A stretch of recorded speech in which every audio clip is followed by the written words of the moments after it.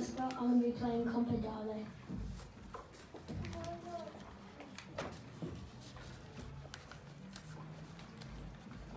Thank